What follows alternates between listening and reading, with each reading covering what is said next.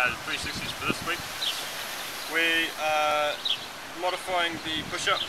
Uh, Lee wants to go one-footed. Um, so what we're going to do, we're going to alternate them. Um, his elbows out like normal.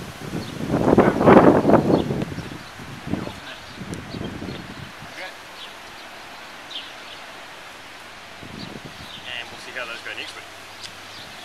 Uh, we are going to keep the V-crunch. The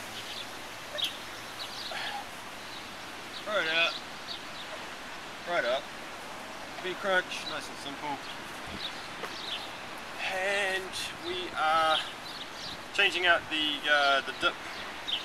Caleb wants pull-ups, so uh, done it before. Grab a pull-up bar, a rail, whatever you've got. Pull up.